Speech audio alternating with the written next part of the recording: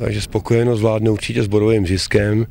Fotbalový krásy tam asi moc nebylo, spíš to bylo takový bojovní utkání a, a vítězství je teda vydřený.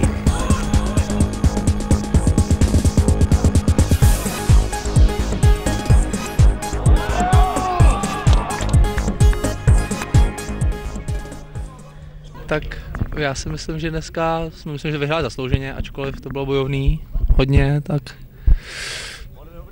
proměnili jsme bohužel jenom jednu šanci, měli jsme jich asi pět a,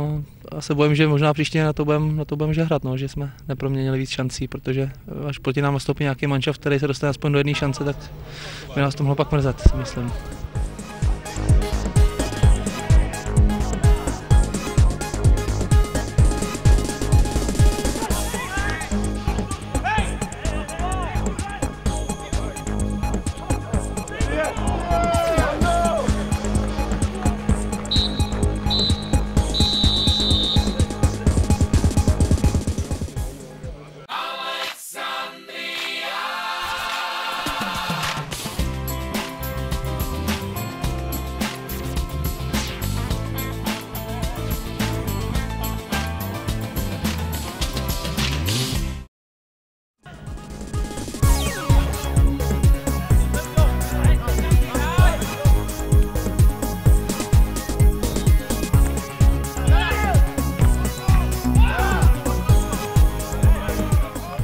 Můžu říct, můžu říct, bylo to takový vyrovnaný utkání, udělali jsme v prvním poločase, jsme udělali takovou menší hrubku, za kterou jsme zaplatili golem, ale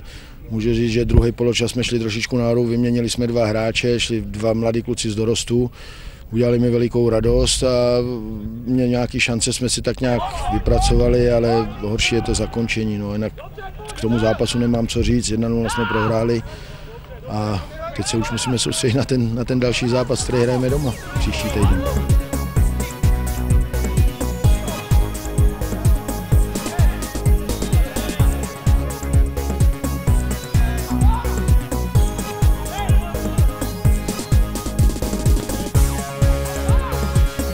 Takže dneska si myslím, že jsme vyhráli zaslouženě, protože jsme Bohemku nepustili do ničeho a my jsme si dali jasný cíl, že chceme ten přebor vyhrát, pokusit se o to vyhrát a splnili jsme další klíček, který máme, to nějakých 13 zápasů, 14 zápasů ještě nám zbývá, tak doufáme, že to dotáhneme do vítězného konce všechno.